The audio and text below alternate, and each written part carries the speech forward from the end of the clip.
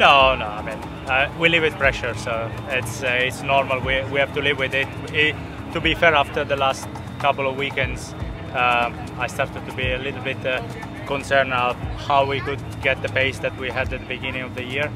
And uh, the guys of K-PAX Racing and uh, Lamborghini Squadra Corse, they they worked really hard in this uh, three weeks that we had from Road America, and yeah, this result goes to them hopefully tomorrow we can uh, we can repeat it and uh, and then a good and uh, funny race in Indianapolis.